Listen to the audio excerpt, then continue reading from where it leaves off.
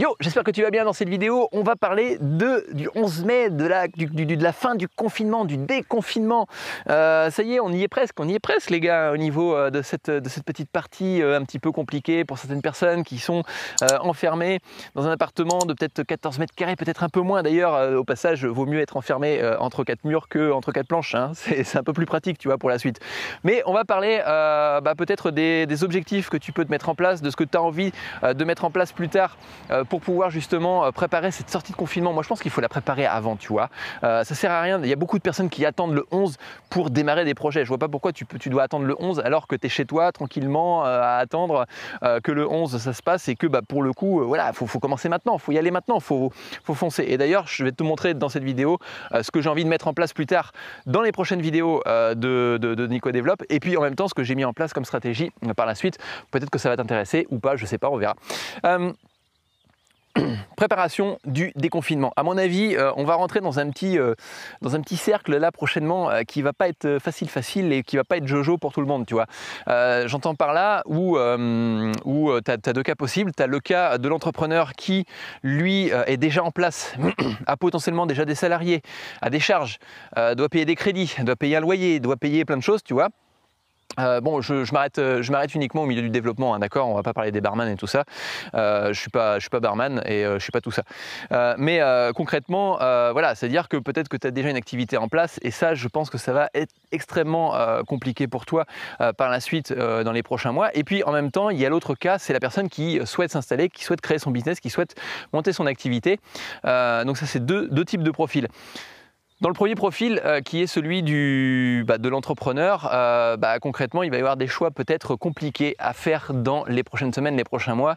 Et euh, pour beaucoup de développeurs, je pense que ça va être, enfin beaucoup de développeurs. Déjà, les premières personnes qui vont, à mon avis, sauter, ça va peut-être être les freelances, parce que bah, forcément, sur les grosses entreprises où on embauche du freelance à tour de bras, on va plus avoir besoin de leurs compétences temporairement, parce que bah, y a des projets qui vont être repoussés, il y a des projets qui vont être peut-être annulés aussi.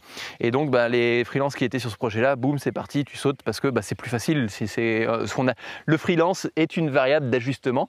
C'est une vérité. D'accord euh, Maintenant, faut la prendre comme telle, c'est-à-dire que si tu es freelance, tu le sais, donc bah, pour le coup, faut t'attendre à ça. Voilà, c'est comme ça, et puis euh, bah, tu trouveras d'autres projets peut-être bien plus sérieux, peut-être, euh, et peut-être plus intéressants aussi. Voilà.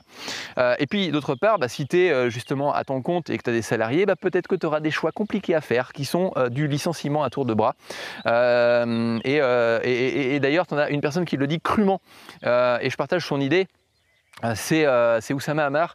Euh, tu, cherches Oussama Hamar sur internet et puis tu vas tomber sur, une de ses vidéos qui te demande de t'enregistrer et puis tu vas recevoir plein de vidéos derrière sur comment sortir du déconfinement. Donc ces, vidéos sont très bien faites. Il y a beaucoup de choses qui sont très intéressantes et notamment il y a une chose qui est de, l'a exposé, c'est que tout simplement si aujourd'hui tu as une activité avec des salariés, eh bien très probablement il va falloir que tu vires du monde de ton business pour, deux, deux raisons en fin de compte. La première raison, ça va être la survie de ton activité. Euh, c'est-à-dire que concrètement, derrière, bah, tu vas avoir besoin euh, de euh, continuer ton entreprise, de, faire, continuer de faire vivre à ton entreprise pour, d'autres raisons. Hein. La première qui va être la tienne, c'est-à-dire que ton entreprise, c'est aussi ton salaire. Hein. On est bien d'accord entre nous que quand on est indépendant, X ou Y, on n'a pas tendance à vouloir cotiser au chômage et que derrière, bah, bien évidemment, ça va être compliqué de pouvoir aller voir le pôle emploi en disant Allô, ouais, j'étais patron et du coup, bah, je voudrais toucher le chômage. Ils vont te faire Bah, fuck, mec, tu rentres chez toi. Donc ça c'est la première chose, et puis pour ta famille aussi. Donc euh, là-dessus, ça va être euh, compliqué. Euh, bah, ça, va être compliqué de pouvoir prendre ces décisions. Et puis le deuxième point derrière, ça c'est un Américain qui le disait. Enfin, je l'avais vu dans une, je sais plus dans une vidéo.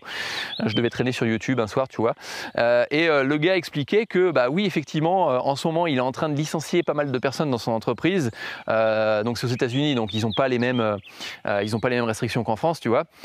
et notamment, il expliquait que, bah oui, effectivement, aujourd'hui, il licencie, mais en même temps, c'est pour préserver son entreprise et pour pouvoir réembaucher par la suite. Euh, après, tu as, deux façons de voir les choses. Tu as la façon de voir pessimiste, c'est euh, quelque chose d'extrêmement grave. Euh, et puis, c'est pas, pas facile. Hein. Moi, j'ai été dans cette position de devoir me séparer de salariés quand j'avais une autre entreprise. Et bah, concrètement, concrètement, voilà, il faut faire, il faut faire le taf. Quoi. Je veux dire, c'est ton boulot, ça fait partie de ton taf. Quand on est entrepreneur, on est entrepreneur développeur, on est peut-être entrepreneur conception, chef de projet, on est dans le marketing, on est secrétaire, on est comptable, et puis on est aussi RH. Ça fait partie du taf. Donc probablement que euh, va y avoir cette petite partie, euh, et puis même pour l'avoir vécu dans des entreprises, hein, euh, aussi bien du côté salarié, ça va pas être quelque chose de facile de voir ses potes se barrer parce qu'ils sont licenciés économiques. pour l'avoir vécu, et je pense que les personnes qui, qui vont suivre cette vidéo, il y a certaines personnes qui vont aussi peut-être se reconnaître là-dedans. pour l'avoir vécu, bah, t'as pas une ambiance jojo pendant ces périodes-là dans l'entreprise quand tu as cette, cette espèce de, de, de, truc un petit peu maussade où tu as des personnes qui vont partir. Euh, au départ, déjà, tu sais pas trop qui va partir parce que bah voilà, c'est un plan de licenciement. Puis après, tu as la deuxième étape. Enfin voilà, ils ont, au niveau administration française là-dessus, euh, et administration française et psychologie du salarié, euh, ils sont vraiment à chier là-dessus sur ce principe-là. Enfin bref tu as des procédures, faut les respecter, on est informaticien, on respecte les procédures, voilà, c'est comme ça, tu vois. Enfin bref, donc ça c'est la première partie, euh, ça va être compliqué pour lui, mais à mon avis, je pense que le secret qu'il va y avoir à mettre en place derrière, ça va être, et aussi bien pour toutes les activités confondues, euh, ça va être la diversification de ton activité. Et tu as le deuxième cas, euh, le deuxième cas, on, va revenir sur la diversification un peu plus tard. Et le deuxième cas, c'est la personne qui vient de s'installer, qui, ou qui vient de commencer, ou qui a envie de commencer, ou qui est sur le point de créer son entreprise. Ça va être compliqué, euh, à mon sens, ça va être compliqué, mais en même temps, ça va être facile. Pourquoi? Parce que euh, tu ne vas pas avoir la même problématique en fin de compte qu'une personne qui, euh, est à son, qui est à son compte. C'est-à-dire que concrètement, la personne qui a son compte, elle doit réduire ses charges pour pouvoir faire dos rond à cette crise économique. Euh, elles doivent réduire ses charges salariales, euh, charges au niveau euh, des, différents, bah, des, différentes sources où tu as des dépenses dans ton entreprise, et puis il va falloir aussi tirer sur certaines choses, etc. etc. toi, en tant que bah, personne qui vient développer son activité, qui va commencer son activité, derrière, tu vas avoir cette facilité que tu commences de zéro. Tu commences de zéro, donc ça veut dire que toute cette partie-là de réflexion, de réduction de charge, tu vas pas forcément l'avoir. Parce que tu vas, toi, dans, l'autre sens, tu vas devoir augmenter tes charges. Alors pas à l'infini non plus, parce que tu vas vite couler ton entreprise et griller tes ailes, tu vois. Euh, mais euh, concrètement, puis tu n'as pas de parachute doré derrière, donc ça, il faut le prendre aussi en compte. Mais euh, ce qu'il faut bien comprendre, c'est que tu vas augmenter tes charges, en fin de compte, par la suite en fonction du besoin euh, de ton activité. C'est-à-dire que bah, si tu as des clients, si tu as des personnes qui euh, consomment tes services, bah, peut-être que derrière tu vas devoir augmenter au fur et à mesure en fonction de la consommation euh, de, tes services ou des besoins. tu vas augmenter les charges qu'ils vont avoir à droite et à gauche. Donc ça peut être des charges pour la comptabilité ou autre chose, peu importe, on, s'en fiche. mais l'idée est là, c'est-à-dire que je pense que ça va être assez facile pour une personne et c'est toujours plus simple en fin de compte pour une personne de pouvoir démarrer sur ce point-là. Après, je te parle pas de toutes les petites problématiques que tu peux avoir à droite et à gauche sur euh, qu'est-ce que je vais mettre en place, euh, qu'est-ce quelle stratégie je vais mettre en place, etc. etc. Et d'ailleurs, la stratégie va être nouvelle, c'est-à-dire que concrètement, entre un entrepreneur qui euh, est déjà en place, qui avait déjà une stratégie mise en place, bah, tu en as certains qui vont essayer de continuer tête baissée sur leur stratégie et puis qui vont se planter littéralement. Tu as d'autres personnes qui vont avoir l'intelligence de pouvoir évoluer leur stratégie en fonction du nouveau contexte. Toi, comme tu viens de démarrer, comme tu viens de, commencer ton activité, la stratégie, en fin de compte, tu n'as pas d'autres stratégies à côté à mettre en place. Tu, tu, sais dans quel contexte tu vas évoluer, tu sais tout de suite euh, comment est-ce qu'il faut que tu évolues. Tu n'as pas d'enjeu stratégique associé justement à cette euh, bah, stratégie marketing par exemple euh, qui est déjà en place. Donc, donc voilà, je pense que euh, tu vois, ces, deux profils-là vont avoir des parcours complètement différents. Maintenant, il y a un parcours commun, à mon avis, à ces deux activités-là qui doit être mis en place dans les prochains mois et prochaines, euh, années, euh, qui va faire que bah, certaines grosses sociétés, si tu regardes un petit peu les grosses sociétés américaines aujourd'hui, même s'il y a eu un gros crash sur les actions, elles restent solides. Si tu regardes les banques, si, tu fais la comparaison entre les banques françaises et les banques américaines, et pourtant, tu sais, des Lehman Brothers, des euh, des, grosses banques euh, qui étaient au bord de la faillite il y a quelques années, ils subissent beaucoup mieux la crise d'aujourd'hui que la crise il y a euh, bah, de, 2008, tu vois, la crise des subprimes. Alors qu'en France, on est en train de se manger, mais un truc de fou, quoi. Mais voilà, de, toi à moi, je pense que la, prochaine évolution des entreprises dans les prochains mois, dans les prochaines années, ça va être la diversification. la diversification de ses activités et de son portefeuille. Alors, J'entends par là, euh, je te dis pas qu'il faut que tu ailles euh, partir dans tous les sens et que tu fasses plein de projets simultanément. Non, ça sert à rien parce que d'une part, tu vas perdre ton temps, euh, d'autre part, tu vas pas forcément être bon dans un domaine et, donc tu risques de partir droit dans le mur. Par contre, tu as une activité majeure, notamment qui est le développement, hein, parce que nous, on est développeurs, les gars, hein. on, parle de développement, voilà, c'est notre secteur d'activité. Par contre, tu as une activité, peut-être que cette activité, tu peux la diversifier. tu peux la diversifier dans plusieurs business, notamment, je t'en ai déjà parlé, tu peux faire de la formation dans des écoles. Alors, encore une fois, tu vois, tout est lié. Hein. Si les entreprises n'embauchent pas, ça veut dire qu'il ne va pas y avoir d'apprenants qui vont être embauchés, donc pas de contrat pro signé, donc bah, moins d'élèves dans les écoles, donc moins de, comment dire, moins, moins de formation à faire dans les écoles. Donc tu vois, même moi, en tant que formateur dans une école, euh, enfin dans des écoles, eh bien pour le coup, je vais être impacté par euh, cette, cette, activité. Par contre, euh, tu vois, se focaliser uniquement là-dessus, simplement être que formateur, bah, c'est extrêmement dangereux aujourd'hui. alors que formateur, peu importe dans quel domaine, d'accord? Donc ça veut dire que bah, derrière, il va falloir que tu diversifies. Peut-être qu'au-delà d'être formateur, tu vas être freelance, donc ça veut dire que tu vas pouvoir justement pallier à cette baisse de chiffre d'affaires et qu'en plus derrière, tu vas développer tes propres activités, tes propres business en ligne. C'est ce que je suis en train de faire aussi. Euh, euh, qui euh, vont te permettre justement d'acquérir des clients, qui vont te permettre de toucher un, le fameux récurrent, tu sais, le, truc doré euh, que plein de vendeurs de rêves te donnent sur internet de ouais, je suis sur mon yacht, je touche de l'argent alors que je suis en train de dormir ou en train de me bronzer sur, sur, mon yacht et tout ça. Tu vois, tout ce petit truc là, eh bien concrètement, les, les, revenus récurrents, c'est quelque chose effectivement qui vont être bien à mettre en place, mais qui vont être un peu plus compliqués, c'est-à-dire que c'est plus facile de décrocher un contrat à 2000 ou 3000 euros euh, en tant que freelance que d'aller générer 2000 ou 3000 euros par mois euh, euh, de revenus récurrents dans certains cas, encore une fois, il y a toute une notion de contexte à prendre en compte. Ne me fais pas dire ce que je n'ai pas dit. Mais voilà, donc une autre partie, c'est les revenus récurrents euh, qui vont être une partie de ton activité. Et ça, encore une fois, tu sors pas de ton milieu d'activité, tu sors pas de ton domaine, de ton secteur d'activité, d'accord? Tu restes dans cette idée justement de conserver ta compétence principale qui est le développement, qui est la conception d'applications, euh, qui est la mise en place de business ou d'aider d'autres personnes à mettre en place leur business autour de leurs applications. Et ça, tu n'en changes pas. Et puis, tu as aussi d'autres euh, Euh, que tu peux aller voir beaucoup plus loin, qui sortent un petit peu de ton activité. Quoique, je vais t'en parler dans deux secondes, mais euh, c'est notamment, euh, notamment la diversification au niveau des, bah, des actions. acheter des actions en bourse, tu vas me dire, waouh, le mec, qu'est-ce qu'il raconte? Acheter des actions en bourse, mais c'est le crack boursier et tout ça. Oui, effectivement, c'est le crack boursier, mais tu as des stratégies. Alors, je suis pas conseiller financier ou quoi que ce soit, donc si je te dis de faire quelque chose, tu fais l'inverse. Tu vois, comme ça, au moins, tu es tranquille, tu n'iras pas te planter. Donc, si je te dis d'investir, investis pas. Voilà, comme ça, tu es tranquille et puis euh, tu peux partir sur notre vidéo et puis euh, mettre ton, ton, ton, ton, ton, côté haters euh, autre part. Je m'en fous. Je, m'en fous totalement. mais concrètement, ça va être aussi de diversifier sur d'autres éléments. Euh, tu sais, il y a un truc qui a bien été compris euh, au niveau des, euh, personnes qui sont, bah, qui, sont rentiers aujourd'hui, d'accord C'est que la diversification, elle, se joue à plusieurs niveaux. Au niveau de l'économie purement générale, donc l'économie réelle, et puis l'économie entre guillemets fictive, qui est donc les actions en bourse, d'accord Il y a deux économies différentes. Et ce qu'ils font, bah, c'est qu'ils investissent un petit peu l'un dans l'autre au fur et à mesure.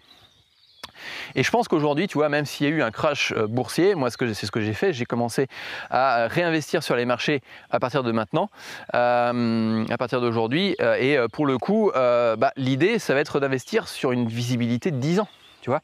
Euh, ça peut être d'investir sur une visibilité de 2-3 mois, euh, comme beaucoup de personnes pourraient te faire. En fait, moi, c'est un, domaine qui me dérange un petit peu éventuellement. Euh, dis-moi si tu veux, dans d'autres vidéos, que, je t'en parle plus profondément. Je ferai une playlist justement là-dessus, uniquement sur l'investissement boursier et puis pour les développeurs spécifiquement, tu vois.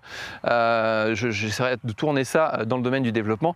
mais notamment, tu vois, si aujourd'hui je vais investir dans le milieu boursier, c'est que je vais investir dans les technologies. Les technologies qui vont m'intéresser. Encore une fois, il y a une faute à pas faire, c'est uniquement investir que dans les technologies, tu vois. C'est la diversification.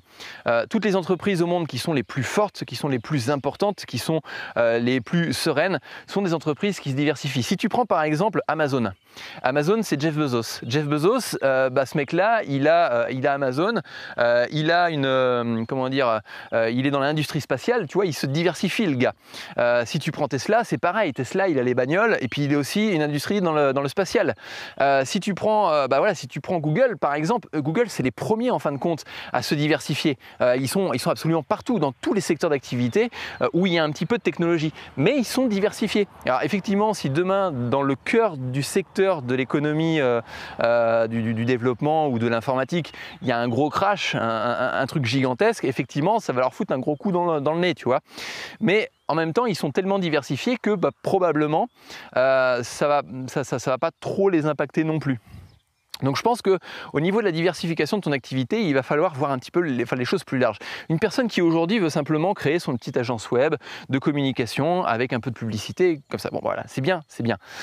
Euh, maintenant, c'est pas suffisant. Euh, c'est pas suffisant parce que bah, concrètement derrière, euh, il va falloir améliorer sa capacité à pouvoir être résilient. Si demain les entreprises sont en récession, comment est-ce que tu vas faire pour justement vendre un énième site web euh, une communication euh, ou autre chose. Et tu vas pouvoir, et, si toi, en tant que euh, petit entrepreneur débutant, comme tout le monde l'est, en fin de compte, on a tous été et on est tous à un moment ou à un autre enfin, entrepreneur débutant, eh bien concrètement, derrière, comment est-ce que tu vas vendre ta prestation, je sais pas, à un boulanger, un charcutier ou un truc comme ça bah D'ailleurs, c'est pas pas la bonne idée. Hein. Franchement, fais pas ça. Mais euh, concrètement, euh, voilà, c'est-à-dire que tu vas avoir, euh, tu vas avoir potentiellement des difficultés. Et comment est-ce que tu vas là où va être l'argent c'est principalement sur les grosses sociétés les sociétés un peu plus importantes euh, potentiellement des banques par exemple ou des grosses compagnies. Mais sauf que tu n'auras pas euh, cet impact là à pouvoir travailler avec eux compte tenu du fait que tu es justement tout jeune tu es tout récent. Et pour eux ils vont plus se baser sur d'autres entreprises qui ont déjà un peu plus de visibilité qui ont un peu plus de crédibilité que toi en tant qu'entrepreneur euh, débutant. Donc tu vois c'est là où il va y avoir la complexité au départ pour justement si tu viens de développer ton activité. C'est mon point de vue. Encore une fois, euh, tu as le droit de ne pas le partager. Je peux me tromper, je peux avoir une vision qui soit différente de la tienne. Tu peux en débattre dans les commentaires. Il n'y a pas de souci là-dessus, tu vois. Euh, mais c'est un petit peu comme ça que je le vois. C'est-à-dire que prochainement, il va falloir se diversifier. Et tu vois, pour te donner un petit peu ce que je te disais euh, en début de vidéo, ma visibilité sur les prochains mois, concrètement, elle va être sur plusieurs plans. Je vais continuer la formation euh, dans, les écoles parce que c'est quelque chose qui est euh, pour moi très enrichissant. Euh, ça m'amuse en fait d'aller faire ça parce que je trouve ça marrant de pouvoir discuter avec des personnes qui, bah, qui sont dans les entreprises. ça me permet aussi d'avoir une visibilité d'entreprise, tu vois, parce que concrètement, quand tu es à ton compte, tu n'as pas la même visibilité en tant que salarié positionné dans une entreprise, tu vois. Donc il faut, aussi voir de l'autre côté du, du, du, du, du chemin public. Et donc, euh, donc derrière, moi ça, m'amuse. Donc ça, je vais le continuer. Je vais en même temps exporter une partie de cette formation-là euh, sur le web, c'est-à-dire que concrètement, là, je suis en train de. D'ailleurs, il y a une petite formation, euh, qui, une formation qui est disponible, enfin petite, qui commence quand même à avoir pas mal de chapitres là, mais j'ai pas fini de la tourner, qui est qui, est une formation pour apprendre le HTML, CSS. Donc si ça t'intéresse, je sais pas combien de place il va rester à partir du moment où je tourne cette vidéo et que je la mettrai en ligne. Peut-être qu'il y aura plus de place disponible pour toi. Donc clique sur le lien, regarde et puis bah, tu verras bien. Euh, et donc euh, derrière, ce qu'il faut bien comprendre, euh, c'est que je vais exporter une partie de ces formations qui me serviront aussi dans les écoles. C'est-à-dire que concrètement, bah, derrière, je pourrais proposer ces formations en ligne dans les écoles parce que bien évidemment, il va y avoir une façon de travailler qui va être différente, notamment le télétravail, de pouvoir travailler à distance avec d'autres personnes. Ça, c'est quelque chose qui va venir s'importer. Et donc, bah, la façon de donner l'information, de former les personnes dans les écoles va être aussi différente. Donc, comme ça, moi, ça me permettrait d'avoir un support, tu vois, en ligne pour pouvoir former les apprenants euh, dans leurs écoles et ils pourront consommer euh, les formations que j'ai mis sur un espace privé et comme ça ils pourront y accéder euh, et uniquement que eux, tu vois. Donc ça c'est une deuxième partie de l'activité qui va me permettre justement d'avoir entre guillemets un revenu récurrent, c'est-à-dire que concrètement j'aurais juste à mettre de la publicité en place, faire la promotion des formations et puis boum c'est parti, il y a de l'achat qui est généré derrière. Euh, le troisième point euh, important euh, du développement de, mon activité, moi c'est ma stratégie. Après encore une fois, tu peux ne pas être d'accord avec, hein, d'accord? Tu, peux, tu, peux, tu peux partir sur autre chose ou ne pas être d'accord ou me donner ton opinion dans les commentaires. Mais le troisième point, c'est le développement effectivement de l'application. Donc là, concrètement, je pense qu'il y aura peut-être moins de vidéos qui vont être faites d'un point de vue code ou, tout du moins, enfin moins de vidéos qui vont être faites sur la chaîne parce que j'ai besoin de mettre un coup de collier un petit peu, tu vois, parce que faire des vidéos, expliquer en même temps euh, ce que tu es en train de faire, euh, montrer des petites choses, des petites astuces, euh, faire le programme, plus faire les formations, plus répondre aux besoins X ou Y, ça prend pas mal de temps et je t'avouerai que je suis un petit peu débordé là-dessus. Donc Donc je pense qu'il y aura peut-être un petit peu moins de vidéos, je sais pas, on verra. Euh, où je vais conserver, euh, là pour l'instant je suis sur un format d'une vidéo à peu près par jour. Euh, mais voilà, c'est-à-dire que derrière je vais avoir ces applications, diverses applications, des petites applications, dans un domaine d'activité qui m'intéresse beaucoup, qui est le growth hacking, c'est-à-dire le fait d'augmenter la croissance d'une entreprise rapidement et potentiellement avec un coût un petit peu réduit. donc donc là-dessus il va y avoir des applications qui vont sortir. Euh, et puis le dernier point, dernier point de la stratégie euh, à mettre en place, euh, c'est bah, la diversification, ce que je te disais. moi, c'est ce que j'ai commencé à faire. Alors, tu peux me suivre sur Instagram parce que je vais, je vais poster ça sur Instagram. C'est un peu plus léger, c'est un contenu un peu plus light qui, me, qui montre complètement autre chose que le développement, par exemple. Et potentiellement, je te ferai peut-être des vidéos sur la chaîne sur ce sujet-là. C'est l'investissement en bourse sur une stratégie orientée plus dividende, d'accord? C'est pas, pas du trading. Hein. On n'est pas là pour faire du trading, les gars. J'ai pas le temps d'en faire déjà. Enfin, j'ai plus le temps d'en faire en fait. Euh, donc euh, voilà, la partie trading, t'oublies. Euh, par contre, c'est de l'investissement sur le long terme, donc sur 5, 10, 20, 30, 40 ans, tu vois, on sait pas. je ne sais pas où est-ce que j'en serai dans, dans 30 ans. j'en sais déjà pas dans 5 ans, tu vois. Mais, mais concrètement, euh, voilà, l'investissement, euh, l'investissement en bourse. Et euh, là, pour l'instant, tu vois, j'ai commencé à, réinvestir une partie de, mon capital sur différentes actions. pour donner les actions que j'ai mises en place, simplement pour rentrer dans le détail, et puis pour la transparence aussi, parce que j'aime bien être transparent là-dessus. j'ai pris du Cisco du Cisco, euh, qui, est, euh, bah, qui est une entreprise dans le domaine du, réseau, donc euh, pas grand chose à voir avec le développement, tu vas me dire. Mais comme c'est une, je pense que c'est une bonne entreprise et qu'il y a d'avenir derrière, bah, ça peut être intéressant. j'ai été, qu'est-ce que j'ai été prendre? J'ai été prendre du coca. du coca, en fait, j'ai expliqué à mon fils, oh, je t'en parlerai plus tard. j'ai été prendre du coca et puis le troisième truc que j'ai pris, c'était encore une fois de l'entreprise. Tu vois, j'achète des trucs, mais je sais pas ce que j'achète. Euh, c'était une entreprise, euh, c'était pas une telle, euh, mais c'était, si c'était Intel, je crois. Euh, j'ai dû prendre Intel derrière. Euh, et en fait, c'est des entreprises qui sont basées sur une stratégie. Enfin, ma stratégie est basée sur simplement le fait de recevoir des dividendes, c'est-à-dire que tous les 3-4 mois, je reçois une petite partie de leurs bénéfices, entre guillemets, sur mon compte. Et puis après, bah, j'ai deux, deux, possibilités. La première, je, je, les réinvestis. Et la deuxième, bah, je la récupère pour ma pomme et puis je me paye avec. Voilà, bon, c'est un point de vue différent. Mais voilà un petit peu, un petit peu l'idée. Euh, des stratégies du sortie de confinement. Euh, toi, j'aimerais bien connaître éventuellement, si tu as envie d'en discuter, on peut en discuter en dessous, puis ça peut faire office de d'autres euh, vidéos.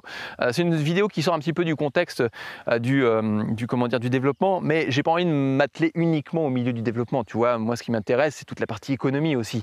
et puis même, au niveau, par exemple, des actions, je vais développer une petite interface graphique qui va me permettre de simplifier tout ça, tu vois. Donc, donc voilà, l'idée est là. si toi, tu as envie de discuter, bah, continue à en discuter dans les commentaires. À me dire euh, ce que tu, euh, ce que tu en penses, euh, ce que tu as l'intention de mettre en place. Si tu as des questions, potentiellement, on pourrait en débattre. Encore une fois, si tu me poses des questions, je ne suis pas censé tout savoir. Donc, bah, bien évidemment, si je sais pas, je te dirai que je ne sais pas.